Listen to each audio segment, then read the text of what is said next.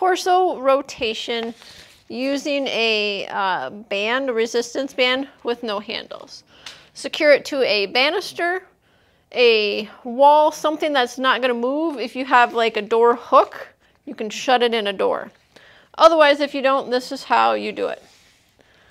Make sure you give yourself enough room. Tie it in a double knot just so it doesn't go anywhere. So once we have that double knot, give it a little tug so it's not going to go anywhere.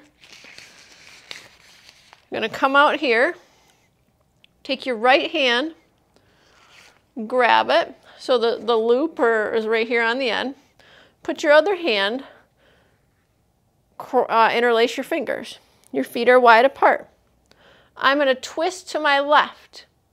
I'm going to twist and come back. Now, if this is digging on your thumb side, change it. So grab it so the top part is up and your tail is up here. Interlace your fingers. Make a sandwich. Get your tension. Look at your thumbs the whole time. Now twist Look at your thumbs. My hips don't move. If you need a little bit more resistance, widen your stance, twist, and come back. Each time your eyes are on your thumb and your body rotates as a unit.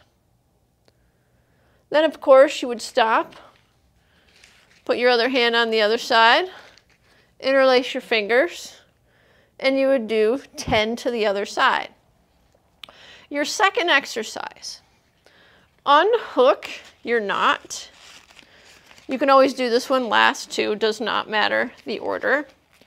Untie it. I probably would do it last. Now grab it so you can do a rowing position. You can sit or you can stand. Make sure that you inspect your band Make sure it doesn't have any tears or anything like that that it's going to snap and break. All you're going to do is make sure that it's the same length. Feet are wide.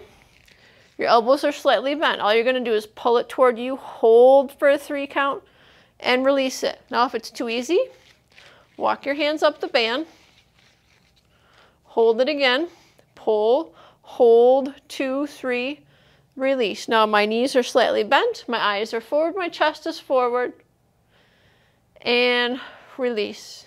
You would do 10 of these, holding each time for your shoulder, and release. Now you can also do this seated in a chair. You would just make sure that you're, when you're seated in the chair, that your arm is the same height as your band. We're gonna do the chest. So we're gonna spin around, we got one in each hand. Once again, my uh, straps, my end of the band is right at the bottom. All you're gonna do is bring your elbows in. Now if that's rubbing on your thumb, make sure that they're down. You can grab it wherever you like. For the chest, all you're gonna do is push one leg forward, get a staggered stance, extend the band, bring it back. Extend the band, bring it back. Same thing, 10 of these as well for the chest press. You can alternate if you do another set, which leg you have forward, as long as you have a good wide stance. This is going to be harder. This is going to be an easier stance. Chest press. Those are just three exercises you can do with the exercise band to help with your golf swing. Have a great day. Bye.